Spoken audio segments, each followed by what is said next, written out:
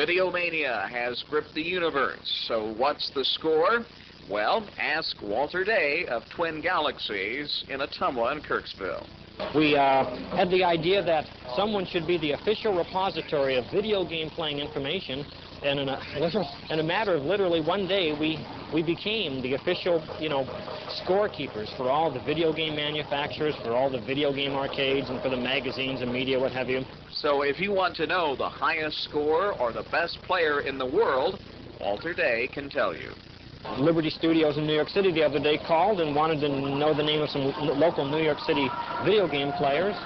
Uh, they wanted to have them in their commercials, and sure enough, we were able to set them up with some young 15-year-old kids who are now making $1,000 per day and getting free computer games and computers and getting to hang around uh, Liberty Studios in New York City. From around the world, people consult Twin Galaxies video game record library. We get letters from Israel. We've gotten letter, lots of letters and phone calls from Canada and uh, I've been in contact with the National Association for Japan. Even recently, we were in the Chinese Post. An article on us was in the Chinese Post in Taiwan, China. So we're, we are the most famous arcade in the world. Even though we might have modest proportions right downtown here at Kirksville and Ottumwa, we are the most famous arcades in the world. And a video publication is saying just that. It's supposed to be the definitive book on video games. And in that book, called Defending the Galaxy, there's an entire chapter titled Ottumwa, the center of the universe. And it even goes so far as to have exact details how to reach Ottumwa. Ah, with such notoriety, can Hollywood be far away? We have four movie-making companies getting ready to come to Ottumwa in Kirksville. One wants to make a documentary on the, the Twin Galaxies story, and another one wants to have actual Hollywood stars come here and make a movie, in the same way that Gilley's was the location for uh, Urban Cowboy, Twin Galaxies is going to be the location for a feature movie with Hollywood stars. Well, the movies haven't yet arrived here, but Life magazine has. A couple of weeks ago, about 18 world champion video players tracked to the center of the video universe for a group photo.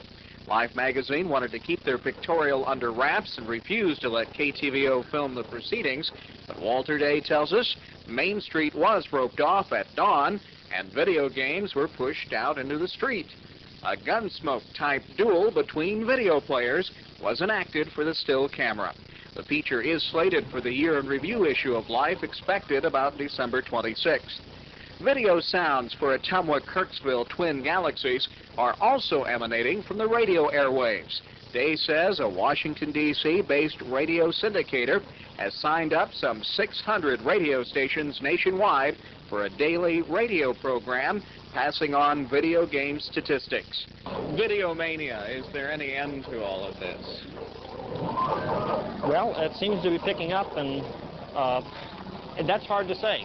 More and more people are discovering video games. In fact, they are everywhere, even in dentists' offices around the United States. And who's playing them in dentist offices? Uh, mothers and grandmothers and uncles and aunts and cousins and everybody that you can think of has played, seems to have played video games by now. So it hasn't peaked yet? Oh, no, no. I would say that it's going to continue to grow for quite a few years because everybody likes games, everybody likes sports. Those two qualities seem to be embodied in this, and it's such a new challenge, and it's so indicative of the new age of high tech and science.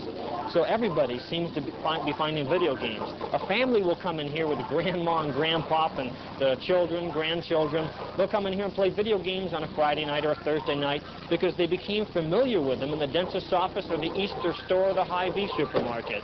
And that's a less threatening area for them to meet them in their own dentist's office, what have you.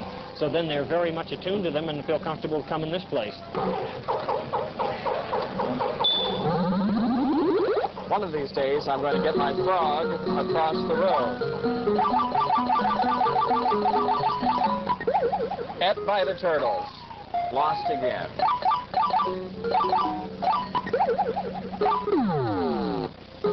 Well, when you enter the world of Twin Galaxies, it's not just another video game palace. Remember that. For Prime Access, I'm Kerry Jahan.